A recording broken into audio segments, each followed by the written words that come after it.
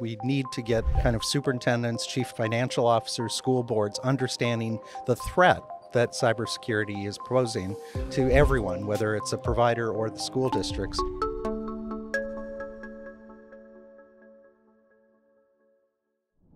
Welcome back to another episode of the Powercast here in San Antonio, Texas, ISTE 2025, joined by my co host and Group VP of Sales for PowerSchool, Ryan Imbriale. Hey, everybody. Yeah, let, hey, everybody. Welcome to Ryan, jumping in the seat. Our special guest is CEO of COSN, Keith Krueger, and I want the hat, so you got to come back and, and, Okay. and, and do another episode with the hat on. Without headset. Yes, but thank you for, for being on the show and spending a little time with us today.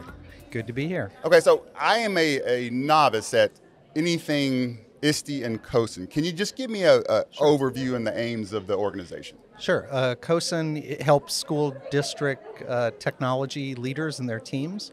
So we really focus on things like uh, uh, equity, things like um, uh, data use of data privacy, uh, cybersecurity, um, things like AI. You might have heard about that. Yeah, a little bit. A little bit. So, uh, whereas ISTE has a core competency around in the classroom te- preparing teachers, if that's an easy way to think about it, we really focus on school system issues. Gotcha. So but you're, you're equipping the schools so that the instructional technology works and the, yeah, there in you the go. classroom. And people like Ryan, we've been working with for a long time, well before he was at PowerSchool, Oh. when he was at Baltimore County. Well, well, Ryan, I know you had a question that was top of mind. I know top of mind for a lot of educators around the country. Well, it's just the the timing's uh, ideal here. First of all, uh, Keith, you look fantastic. Uh, Keith and I have known each other for, uh, as he said, a long time, and so you know, luckily, both of us has, have aged like fine wine. Um, well, here, here, here's my thing. Boxed wine uh, from, on your Fine boxed wine Fine- from Trader Oh. Joe's for three dollars. This just went south. Buck chuck. All right, uh, two buck chuck, which you can't get in Maryland, Oh, by the way. well. It's a problem. All right, so I, I, I think everyone in the space uh, over the over the course of the last half year have have been concerned about what was to be of E-rate, and and I, I want to preface this for our our audience and and just say you know, and this is coming truly from my heart. Like Keith, the work you have done personally, the work COSN has done um, across decades around this topic um, and around the work in Washington to ensure E-rate is a um, is a uh, like like the walls of a building um, is incredible. All that to say, there's been some challenges over the over the course of the last half year year building up, and so huge news just recently. And can you Ta-da-da-da, yes, can this- can you just past- talk about what just has happened and, and why it Friday, matters? We had just a huge win. Uh, the U.S. Supreme Court, which was making lots of other decisions that some people may or may not like, but this particular uh, issue on a 6-3 vote, uh, splitting, uh, they had both uh, liberal and conservative justices saying what the E-rate does is constitutional. If we had lost that, we could have uh, lost the most important funding for education technology. Uh, for, o- for almost 30 years, uh, uh, E-rate has been the largest funding source, and the, the amazing thing about it is that it's not dependent upon who's in Congress. Or uh, it, it uh, when we pay our telephone bills, uh, there's a little line that says universal service, and actually it's a very old program, almost 100 years, uh, connecting rural America to telephone service. And in 1996, COSN uh, worked to educate Congress and say, you know, we ought to connect schools and libraries, and it ought to go down to the classroom level. And so um, it's absolutely essential. It's the biggest. It's the if, if you considered it a federal program, uh, because actually it's sort of separate, Quasi. quasi, Yeah. uh, it would be the fourth biggest education program. Wow, wow. And so this ruling, essentially, is it is it a status quo ruling? it is a status- or, or like what now? What? It is a status quo. There are still other challenges that we have with the E-rate in the way that it's funded. It's funded on old tele, uh, long distance rates, and so not everybody pays into it. So we have a problem with the financial structure, but the actual program itself is constitutional and will continue. And, and it isn't just a win for schools and libraries. It's a win for rural hospitals. It's a win for rural uh, ratepayers, which could have gone through the roof. Every all of it is about a nine billion dollar a year program. Uh, E-rate is less than half of that. Amazing. Thank I again. Thank you. Thank all the COSN members, the other um, NGOs who have worked so hard on this issue. Uh, it it it matters to all of us, whether we are Right. uh, corporate in the education space or whether we're in a classroom or a parent. Yeah, we, we just wouldn't have the infrastructure. And, you know, we see around the world that the E-rate program is, uh, you know, about universal service, making sure that every school, every library, every uh, rural hospital, every, uh, you know, are all uh, connected to, to increasingly broadband rates and r- broadband connectivity. Thanks. I have a, a s- cybersecurity question, if I can pick your brain quickly. Um, you know, it feels like districts have not really adopted cybersecurity protocols to the strength that they probably need. Um, it's, it's almost an afterthought in, uh, sometimes. How should we be thinking about cybersecurity and the necessity of it, like for Yeah. a school district? Well, and I, and I love that you're a former superintendent because we need to get kind of superintendents, chief financial officers, school boards understanding the threat that cybersecurity is posing to everyone, whether it's a provider or the school districts. We know that things like ransomware, K 12 is the number one targeted sector. There's a reason for that, right? There's because we're the least defended, We're probably. the least, that's exactly Yes. right. We have lots of data, and we have, um, unfortunately, we're a soft target. Oh, yes. And uh, so we've uh, we do a survey each year. Last year we found that only one in three, even though this was the number one issue for our chief technology officers, we asked them, well, do you have even one full-time equivalent working on cybersecurity? Uh, The criminals do. Oh, they got. They got. They're well they got. a equipped. lo- They are hammering on your network. oh gosh. yeah. And uh, unfortunately, so we're under under resourced from a human capacity, Uh, you know, and we just haven't. You know, we we also ask a question. You know, here, here are major cyber threats. Now, I just mentioned that ransomware is the number one risk of any industry sector, according to Homeland Security, Yep. and yet. I think it was only 12% of our CTOs said that they felt they were at, at high risk. wow. So even though they, we, our audience will say it's our number one priority along with AI, uh, there's a severe under uh, appreciation of what is really at risk. Do you think it, it's because of the cost? Is it because of you? You typically have a small group of, of experts that know enough about cybersecurity in a school district, and it doesn't permeate to the other. It's a part-time responsibility, okay. and, and uh, hiring someone like a chief security officer is something that school, very few school districts could ever afford. Right. Um, so, i- i- you know, that that's all the more reason why it's important for school districts, for states, for education service agencies to come together and aggregate expertise. It's particularly why it's so important the federal government has provided um, funding through Homeland Security for something called MS-ISAC. This is sounds a little geeky, and only the geeky people like Ryan and I care about these things. But they provide free or low cost uh, services to school districts and other public sector, um, you know, cities, Sure. states, Municipalities, yep, yep, municipalities, yep. ports, things like that.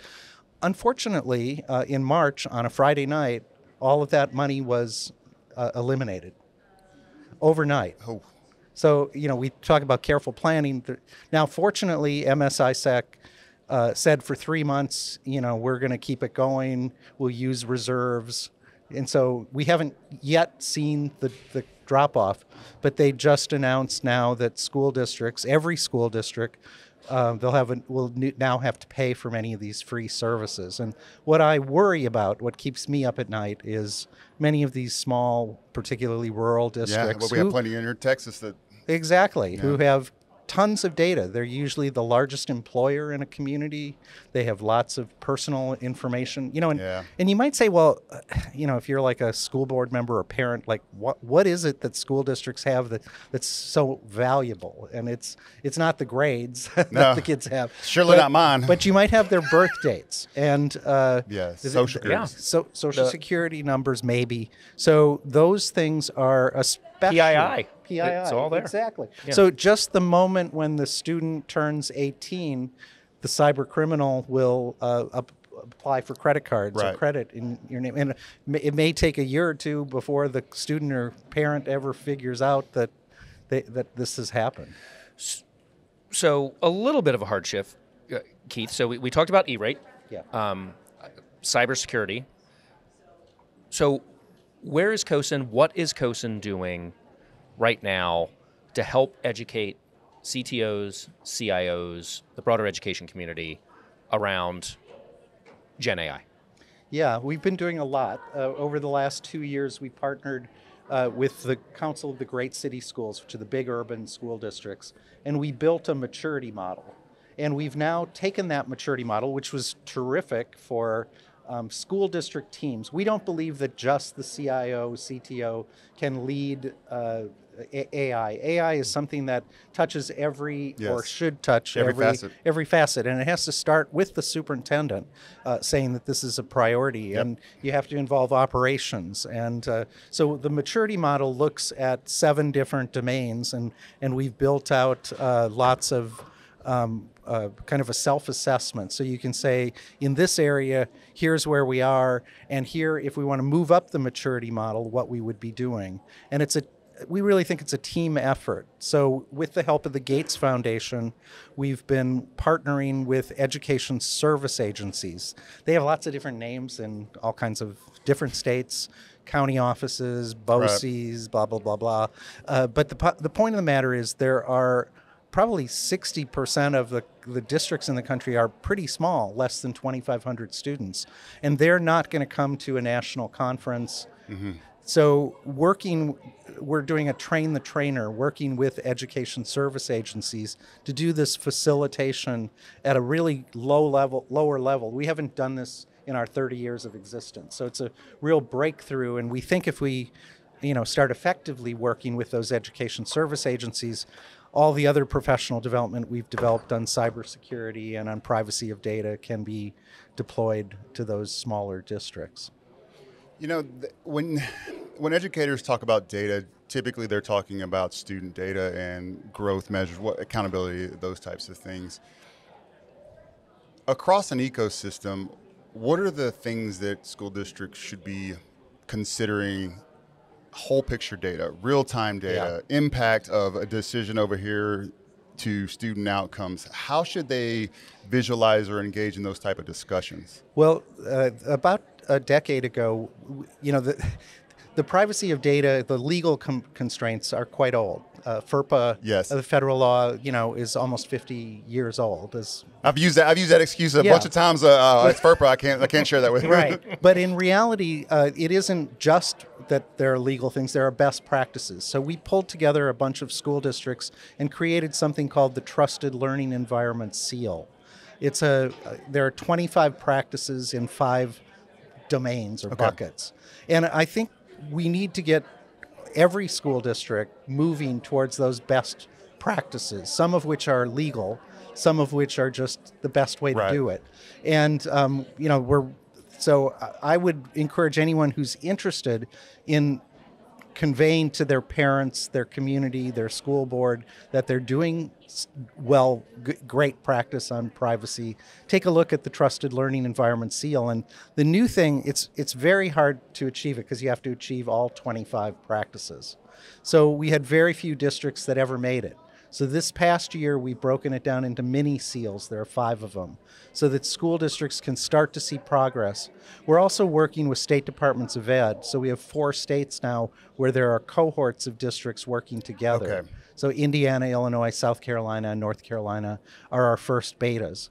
So we're trying a lot of new things. You know, it, it couldn't be more important in an AI world to get the, the data privacy stuff right. Yes. I, I would assume that as AI continues to evolve, the ability for bad actors to leverage it and steal data, ransomware is only going to increase exponentially. So, Yes. uh, uh, much like just the acceptance of AI from the instructional practices, the cybersecurity uh, urgency probably needs to be ramped up accordingly as well. We like to say that uh, it's two sides of this of the same coin: cybersecurity and pri- privacy of data. Privacy of data tends to be more the practice and the policies, Right. and uh, you know the cybersecurity is the hardcore. How you, yeah. How you, how are you keeping it safe once you have it? you, you have to do both, and we are getting a lot of attention around the cybersecurity eh, conversation. Sure.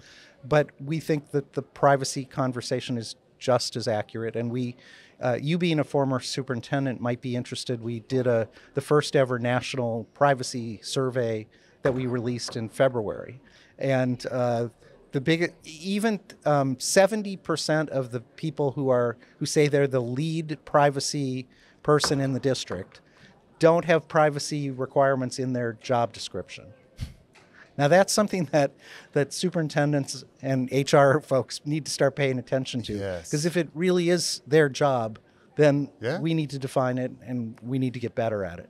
No doubt, because yeah, when something goes wrong, uh, you're getting the call. Is uh, you sit in the seat, you're you're getting the call, Yeah. regardless of it's if it's your, you know, what your your expertise is in or not. Um, so I would agree with that 100. percent You have to be well informed, um, Yeah. to respond. And and things uh, as a system don't move without the superintendent. yeah, yeah. Keith, um, put you on the spot. How many how many ISTEs is this for you? I was just thinking. I think I started. I, I'm earning my white hair. Uh, 1994, I think. How how about you? I, I couldn't remember the. I, I think I'm at It was- 28. Okay. It's been a long time. Yes. Okay, I, I got I got to ask the, the same question I asked Ryan earlier today. Do you do you recall any landmark years where things exploded? Oh, it's a good question. Technology. Well, I, I'll, I've been working with COSN for 30 years, and uh, I came on just as Mosaic and the browser and um, the public internet moved from, you know, having been for secure in the Sure. Department of Defense to consumers. And I think this is equally with AI as exciting a moment as that was. We were, at that time, you know, most people were talking about let's get one connection to a school. Yeah. And we pushed hard that it ought to be in every classroom, and that's how E-rate defined that it was not just to the school but to the classroom. But I think uh, AI is, uh, you know, as they say, the fourth industrial revolution, I agree. and uh, it's going to change everything. wow. It's amazing. We just need to do it right. Yeah, I would agree 100%.